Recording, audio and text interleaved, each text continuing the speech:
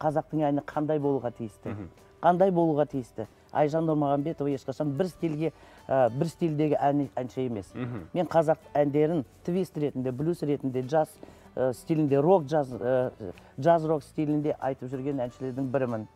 Жас кезімде мен оған жейтін да сызып тастайтын да. Ал қазір мінекей мақтап жүр.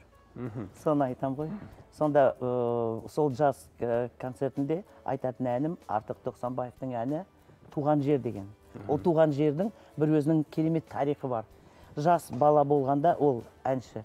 Сонда союз композиторов союз одағы сазгер одағына келгенде сол әнін көрсеткенде көрсетейін дегенде сонда бәрі сазгерлер айтыпты ойбай бұл қазақтың әні емес деп.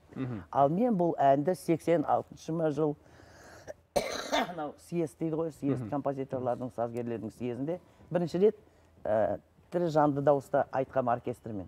Содан кейін ол сол әнді 2010 жылы концертіме кіргіздім.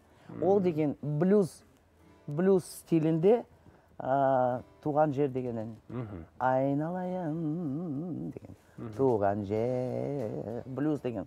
Сонда ә, бәр сазгерлер жоқ жоқ ол қазақтың әні емес дегенде екі ғана сазгер ол кеңес дүйсекеев пен латиф хамиди қолын көтеріп айтыпты. Сонда латиф хамиди айтыпты. Тұра тұр деп. Тұра тұрыңыз деп сол екі ғана композитор қолдаған қолдаған сол ә, артық тоқсанбаевты. Сонда латиф хамидидің айтқан керемет сөздері бар. Вальс деген қазақтың музыка емес музыкасы.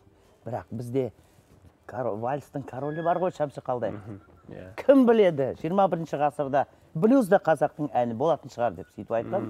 Сол әнді бүгін ана жас кешінде мен айтамын.